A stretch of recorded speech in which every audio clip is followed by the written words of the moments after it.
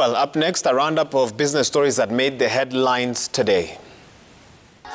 Equity Bank's Congo subsidiary Equity BCDC has launched a mentorship and leadership program dubbed Equity Leaders Program. The program has selected 131 top performing young scholars, including 81 boys and 50 girls, who topped their final six secondary school examinations.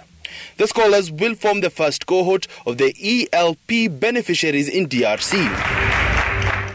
Elsewhere, the Water Sector Trust Fund has won the 2021 UN Public Service Awards for the second year running for innovation and excellence in public service in support of realization of the Sustainable Development Goals. The awards are organized by the United Nations Department of Economic and Social Affairs to promote the role, professionalism and visibility of public service for the realization of the 2030 Agenda.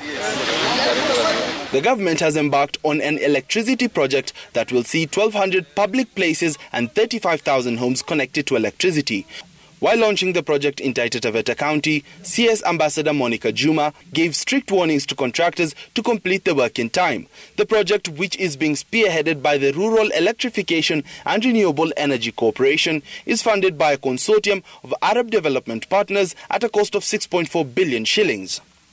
MFS Technologies and Heritage Insurance have launched a digital insurance platform with motor insurance installment plan.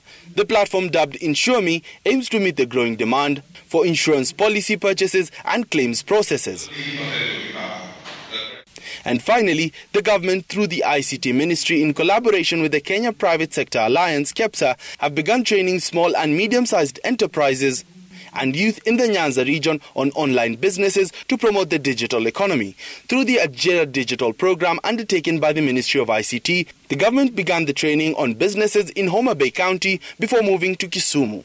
Faisal Ahmed, Citizen TV, Nairobi.